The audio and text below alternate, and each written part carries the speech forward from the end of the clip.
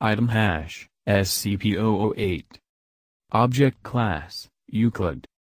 Special Containment Procedures SCP-008 samples have been deemed Class V extreme biological hazards, and all related protocols apply. Incineration and irradiation measures will be deployed in the event of political or military action which may result in the facility being dismantled, a power failure, or zero communications from operatives or outside channels during any given 8-hour period. The quarantine period for operatives leaving the facility is four months. If a breach has occurred, incineration and irradiation measures shall be deployed. It should be the policy of all G2 sites to not prepare an evacuation procedure.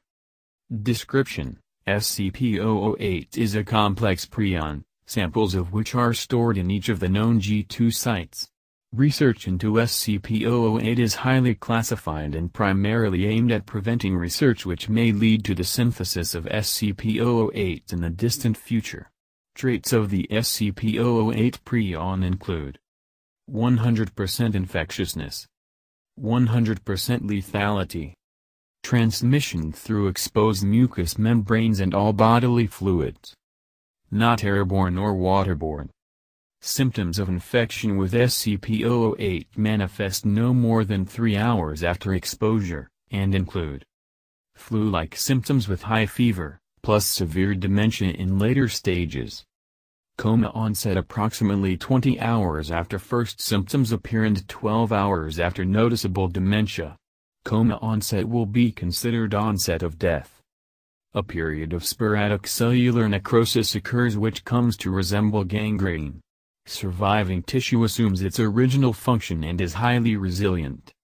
Red blood cells greatly increase oxygen storage capacity, resulting in slower blood flow and increased muscle endurance and strength. Nervous and muscular systems are unaffected by total organ failure for several hours. Metabolism may decrease to extremely low levels, allowing subject to survive for over 10 years without nutrition.